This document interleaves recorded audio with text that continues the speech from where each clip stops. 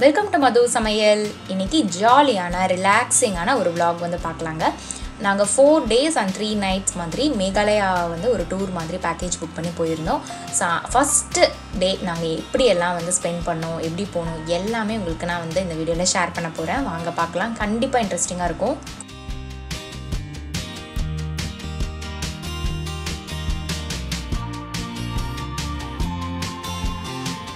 Trip mode start ஆகிறனால ரொம்ப ஜாலியாக இருக்குது காலையில் மூணு மணிக்கு நாங்கள் வந்து கிளம்பிட்டோம். கேப் புக் பண்ணியிருக்கோம். இப்போ வந்து நாங்கள் ஏர்போர்ட்டுக்கு போகலாம்.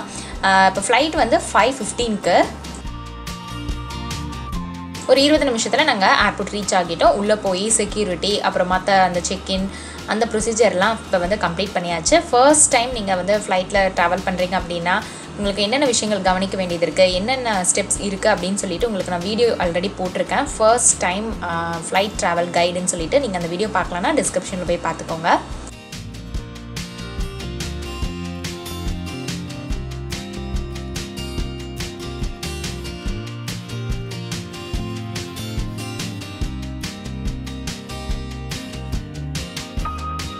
ஸோ ஃப்ளைட் வந்து கொஞ்சம் டிலே ஆயிடுச்சு சிக்ஸ் தேர்ட்டிக்கு தான் வந்து ஃப்ளைட் கிளம்பிச்சு. டேக் ஆஃப் ஆயிடுச்சு மேலேருந்து சென்னை டாப் வியூ பாருங்கள் நாங்கள் வந்து கவுஹாத்தி ரீச் ஆனது ஒரு நைன் டுவெண்ட்டிக்கு காலையில் ரீச் ஆனோம். இது வந்து கவுஹாத்தியோட டாப் வியூ நிறைய அந்த ரைஸ் கல்டிவேஷன் பண்ணியிருக்காங்க. ஸோ அதை அதனால தான் அந்த கலர்ஸ் கலர்லாம் அப்படி தெரியுது. ஹார்வெஸ்டிங் முடிச்சனால இப்போ லேண்டிங் ஆயாச்சு. இது கவுஹாத்தி ஏர்போர்ட் நாங்கள் இந்த டூர் வந்து பேக்கேஜ் மூலமாக தான் வந்து புக் பண்ணியிருந்தோம். நான் ஒவ்வொரு வீடியோக்கும் கீழே day one day two day three எது நான் போடுறனோ அதுக்கு கீழே உங்களுக்கு நான் வந்து ஃபுல்லாகவே பட்ஜெட்டோட டீட்டெயில்ஸ் கொடுக்குறேன். இது வந்து எந்த பேக்கேஜில் நாங்கள் புக் பண்ணேன் எவ்வளோ செலவாச்சு ஒவ்வொரு நாளுக்கும் என்னென்ன செலவாச்சு அப்படின்னு சொல்லிட்டு நான் உங்களுக்கு டீட்டெயில்ஸ் கொடுக்குறேன். நீங்கள் டிஸ்கிரிப்ஷனில் போய் பார்த்துக்கோங்க. இது வந்து நாங்கள் இப்போ ஷிலாங் வந்து போயிட்டுருக்கோம். எங்களுக்கு கேப் டிரைவர் வந்து பிக் பண்ணிட்டாங்க. அந்த பேக்கேஜ் புக் பண்ணனால அவங்களே பிக் பண்ணிட்டாங்க. போகிற வழியில் ஆலு பரோத்தா பிரேக்ஃபாஸ்ட் சாப்பிட்டு அப்படியே போயிட்டுருக்கோம். ஃபுல்லாக பார்த்தீங்கன்னா இந்த மாதிரி வாழைப்பழம் அப்புறம் வந்து இந்த பைனாப்பிள் இதெல்லாம் வந்து பார்த்திங்கன்னா அங்கே நிறைய விளையும் போல் இருக்குது ஸோ அதுதான் நிறைய வந்து விற்றுட்ருந்தாங்க அங்கே என்ன வந்து கல்டிவேட் பண்ணுறாங்களோ அதெல்லாம் விற்றுட்ருந்தாங்க இது பாருங்கள் குட்டி குட்டியான மிளகாய் அங்கெல்லாம் வந்து சின்ன சின்ன மிளகாய் இருக்குது அதோட சைஸ் உங்களுக்கு நான் எடுத்து காமிக்கிறேன். உங்களுக்கு தெரியும் பாருங்கள் காந்தாரி மிளகான்னு சொல்லுவாங்க. அதுவாக எனக்கு கரெக்டாக தெரியல பட் இவ்வளோ குட்டியாக இருக்குது பாருங்கள் இங்கே இறங்கி நாங்கள் வந்து பனானாலாம் வாங்கினோம். அந்த வாழைப்பழம் வாங்கினால பரவாயில்ல எங்களுக்கு சாப்பாடு செட் ஆகாதனால இந்த வாழைப்பழத்தை சாப்பிட்டு தான் ஒரு மூணு நாள் உப்பேத்தினோமே. இது வந்து ஏதோ பிக்கிள்ஸ் ஊர்கான்னு நினைக்கிறேன். அதெல்லாம் பாட்டில்ஸில் அப்படியே போட்டு வித்திட்டு இருந்தாங்க. அங்கெல்லாம் வந்து பார்த்திங்கன்னா லோக்கல் லாங்குவேஜ் வந்து காசி அப்படின்னு சொல்லிட்டு ஒரு லாங்குவேஜில் பேசுகிறாங்க அவங்க பேசுகிற அந்த ஹிந்தியுமே டிஃப்ரெண்ட்டாக இருக்குது ஸோ எனக்கு ஹிந்தி தெரியாது ஹஸ்பண்டுக்கு தெரியும். அவருக்கு தெரிஞ்சனால ஏதோ வச்சு நாங்கள் அப்படியே சமாளிச்சுட்டு இருந்தோம். பட் அதுவே எங்களுக்கு கொஞ்சம் புரியுது வந்து ரொம்ப கஷ்டமாக இருந்தது. மேக்ஸிமம் வந்து அவங்க காசி லாங்குவேஜ் அதை தான் வந்து பேசிகிட்டு இருந்தாங்க. ஸோ நம்ம ஊர் சாப்பாட்டுக்கும் அந்த ஊர் சாப்பாட்டுக்கும் ஃபுல்லாகவே வந்து பார்த்திங்கன்னா அவ்வளோ வேரியேஷன் இருந்தது. அங்கெல்லாம் சாதம்லாம் வந்து ஒரு மாதிரி பருக்க பருக்கையாக இருக்குது ஸோ அதனால் அது கொஞ்சம் டிஃப்ரெண்ட்டாக இருந்தது. இங்கே பாருங்கள் அவங்களோட ட்ரெஸ்ஸே வந்து இது வந்து இது காசி ட்ரெஸ்ஸுன்னு சொல்கிறாங்க அங்கே ஃபுல்லாகவே இந்த மாதிரி தான் எல்லா லேடிஸுமே இந்த மாதிரி தான் ட்ரெஸ் போட்டிருக்காங்க. நான் கூட வந்து டே டூவில் உங்களுக்கு நான் போடுறேன். நான் இந்த காசி ட்ரெஸ் போட்ட மாதிரி ஒரு ஸ்னாப் வீடியோலாம் நான் போடுறேன். இது வந்து இது உருளைக்கிழங்கு வெரைட்டி அப்படின்னு சொன்னாங்க. இப்போ நாங்கள் அப்படியே ஷில்லாங் மேலே ஏற ஏற கிளைமேட் வந்து அப்படியே சேஞ்ச் ஆக ஆரம்பிச்சது. என்னதான் வெயில் அடித்தாலும் அந்த சில்னஸ் வந்து நல்லா தெரிஞ்சது. இது போகிற வழியில் இந்த மாதிரி லேக்ஸ் நிறையா இருந்தது. இது வந்து போரா பண்ணி லேக்குன்னு சொன்னாங்க. அப்புறம் டேம் வந்து இந்த பக்கம் இருக்குது ஷில்லாங் போகிறப்பவே உமியம் லேக் அப்படின்னு சொல்லிட்டு ஒரு ஸ்பாட்டு இங்கே வந்து போட்டிங் எல்லாமே இருக்குது போட்டிங்க்கு தனி சார்ஜ் உள்ள என்ட்ரி ஃபீஸ்க்கு தனி சார்ஜ் உங்களுக்கு எல்லாம் என்ட்ரி ஃபீஸ்லாம் எவ்வளோன்னு உங்களுக்கு டிஸ்கிரிப்ஷன் பாக்ஸில் கொடுக்குறேன். நீங்கள் செக் பண்ணிக்கோங்க. உமியம் லேக் வந்து ஒரு நல்ல பெரிய ஒரு நேச்சுரல் லேக் தான். அவ்வளோ சூப்பராக இருந்தது. நான் அதுக்கு மேலே வந்து பார்த்திங்கன்னா டாப்பில் நம்ம ஏற ஏற உமியம் லேக் வியூன்னு சொல்லிட்டு ஒரு பாயிண்ட்டும் இருக்குது அதுவும் பார்க்கறதுக்கு அவ்வளோ அழகாக இருக்கும். சூரியனோட அந்த வெளிச்சம் தண்ணியில் பட்டு அப்படியே ஜொலிக்குது பாருங்கள் எப்படி?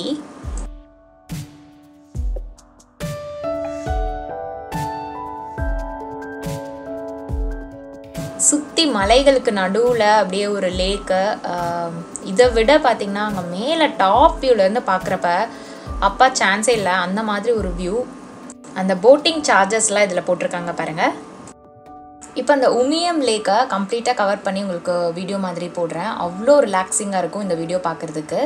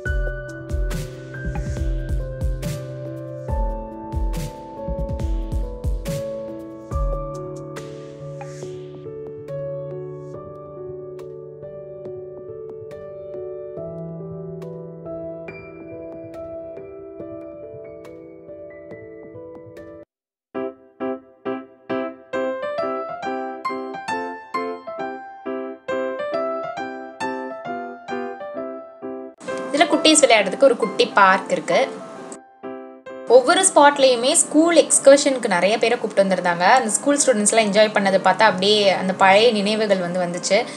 ஜாலியாக அந்த பின்னால் பாருங்கள் பஸ் பின்னால் ஜாலியாக டான்ஸ் ஆடிட்டு போயிட்டுருக்காங்க நாங்கள் ஒரு மூணு மணி இருக்கோம். அந்த டைம் வந்து நாங்கள் ஷில்லாங் ரீச் ஆயாச்சு. இப்போ நம்ம தங்க வேண்டிய ஹோட்டலுக்கு வந்துட்டோம். அந்த ஹோட்டலில் வந்து முன்னால் இந்த மாதிரி பேஸ்ட்ரிஸ் நிறைய வச்சுருந்தாங்க. பார்க்க ரொம்ப அழகாக இருந்தது. அதனால் வீடியோ எடுத்திருக்கேன். இங்கே அங்கெல்லாம் பார்த்தீங்கன்னா ஒரு ஃபோர் தேர்ட்டி ஆனாலே அப்படியே லைட்டாக அப்படி இருட்ட ஆரம்பிச்சிருது. சன்செட்டே ஃபோர் தேர்ட்டிக்கு ஆகிருது. அப்படியே டோட்டலாக அஞ்சு மணிக்கெலாம் ஃபுல்லாக இருட்டாகிருது. சில்னஸ் வந்து அவ்வளோ பயங்கர சில்னஸ்ஸு தாங்க முடியாத அளவுக்கு. ஊட்டி கொடைக்கானலை விட ஜாஸ்தி. அப்புறம் பார்த்திங்கன்னா இது எங்கே இருக்குது அப்படின்னா இந்த ஹோட்டல் நாங்கள் தங்குற ஹோட்டல்னால் போலீஸ் பஜார். ரொம்ப ஃபேமஸான அந்த ஷாப்பிங் ஏரியா போலீஸ் பஜார். அங்கே தான் வந்து இருக்குது நல்ல க்ரௌடடான ஏரியா அங்கே.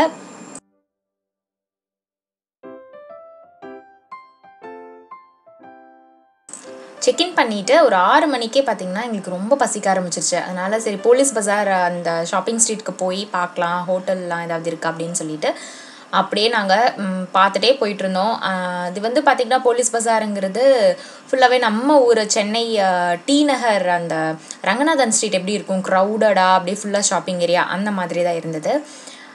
அங்கே ஏதாவது நல்ல ஹோட்டல் இருக்கா அப்படின்னு சொல்லி பார்க்க போயிருந்தோம். அங்கே வந்து ஒரு ரெண்டு ஷால் மாதிரி பர்ச்சேஸ் பண்ணோம். அங்கே ஷாப்பிங்னு பார்த்தா வின்டர் கிளாத்ஸ் ஃபுல்லாக அந்த மாதிரி தான் நிறையா விற்றுட்ருப்பாங்க அது போக அந்த பேம்பூவில் செஞ்ச அந்த ஹேண்டிகிராஃப்ட்ஸும் அந்த ஹேண்ட்பேக் அது மட்டும்தான் வந்து மெயினாக அங்கே இருக்குமே.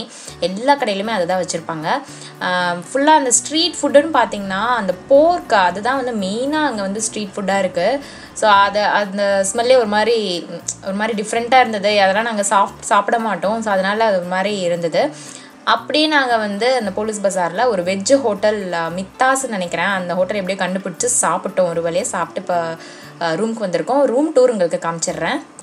பேக்கேஜ் புக் பண்ணியிருக்கனால அவங்களே ரூம் எல்லாமே வந்து புக் பண்ணிட்டாங்க. நான் கூட நினச்சேன் பேக்கேஜில் பண்ணுறோமே ரூம் எப்படி இருக்கும்னு கொஞ்சம் டவுட்டாக தான் இருந்தது. ஆனால் ரூம் ரொம்ப பெருசாக நல்லா நீட்டாக இருந்தது. கொஞ்சம் கூட அந்த ஸ்மெல் எதுவுமே இல்லை. அவ்வளோ பக்காவாக இருந்தது. உங்களுக்கு ரூம் பார்த்தாலே தெரியும் எவ்வளோ பெருசாக இருக்குன்னு பாருங்கள் நாங்கள் எந்த ஹோட்டலில் தங்கினோன்னு உங்களுக்கு டிஸ்கிரிப்ஷன் பாக்ஸில் கொடுக்குறேன்.